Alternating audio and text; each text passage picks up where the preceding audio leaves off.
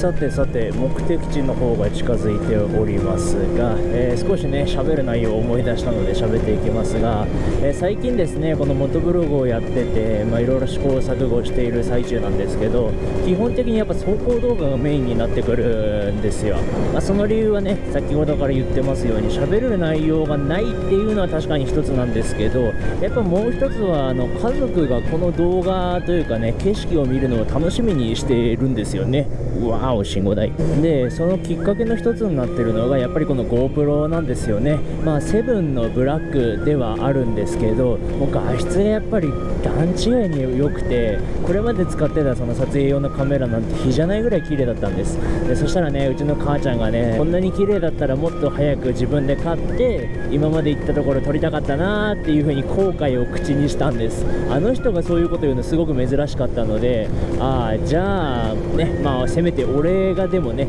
俺が走った動画でも残ってればなんか、まあ、大体行ってる場所を走ってるので、まあ、母ちゃんも父ちゃんも俺もね一緒に走ってる道が多いので、まあ、懐かしい気持ちになれればいいなっていう感じでちょっとね、えー動画がどうしても走行動画メインになっております。さあさてさて、えーま、道中山道ばっかりだったんですけどいい感じのペースカーが前に入ってくれてすごく快適に走れました、えー目的地の方まで来ると結構山あいではあるんですけどちょっと栄えた雰囲気のね、え集落というか街並みになってきます。この先にありますのが今回の目的地の道の駅フルドのですね、えーここで果たして今日は俺はパンを買えるのか私楽しみでございます。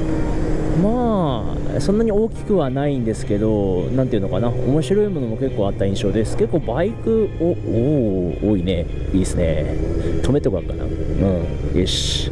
ここまで来るとやっぱバイク多いなって印象はありますけどあんまり近くに止めたくないんだよ。恥ずかしいからね。なんかどっかねえかなどっかねえかなどっかねえかな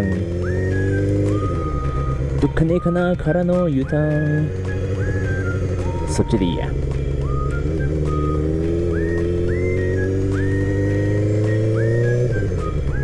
こののどかなところに俺は止めるぜ。写真撮るんだぜ。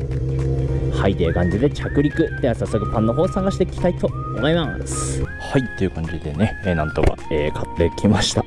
えー、ここの道の駅の反対側にねお店があるんですけどここのお店の反対側にあるお店で作ってるみたいなのでちょっとこのまま行ってみたいと思います。ちなみに買ったのはねこの下にある、え、油揚げとかパンとかクロワッサン。これ美味しかったんですけどあとはねどこ行った？一番ね欲しくて買ったのが消えたんだが。これこれこれこれこれ。このウインナーチーズパン180円なんですけどこのぶっといソーセージ入っててこれがいろんな種類のソーセージがあったんですけど今日これしかありませんでした。まあでもあるだけ良かったですね。であとここの道の駅であるなんか美味しくないんですけどね。気に入っちゃったこのガブ飲みのねやつまた買ってみました。さあそんなわけでもう一回反対側走ってみたいと思います。まあね、目と鼻の先なんですけど、今日結構みんなタイミングよく出発してるから、俺も紛れたくはないんですけど、